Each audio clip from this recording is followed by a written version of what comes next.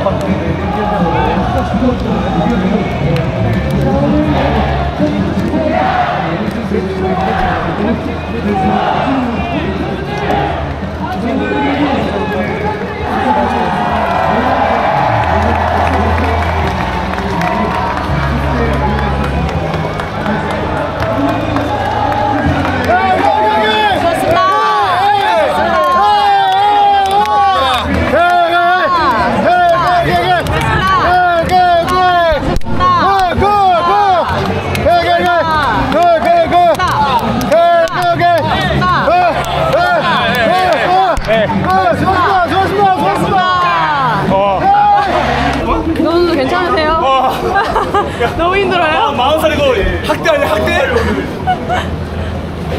전 선수 고생하셨습니다 오늘. 명호 선수한테 한마디만 해줄 수 있어요? 연장에서 홈런 쳐준. 어 멋있었습니다. 네, 감사합니다. 옛날에 경호 선배님이 다시 올 겁니다. 수고했습니다. 홍건 선수 잠깐 괜찮아요? 오늘 너무 힘드시죠? 네, 승리 소감 한마디만 부탁드릴까요? 이겨서 너무너무 좋습니다. 근데 광주에서 특히 강하신 것 같아요. 아닙니다. 타고 보니까 광주네요. 아, 딱히 막 의식하고 그런 건 없습니다. 네, 그런 거 없어요. 오늘 오. 그냥 꼭 이기고 싶었는데, 아, 그래도 어쨌든 이렇게 이겨서 다행인 것 같아요. 진짜 다 고생 많이 한 것 같습니다. 팬분들도 응원해 주신다고 수고하셨습니다. 감사합니다. 수고하셨습니다.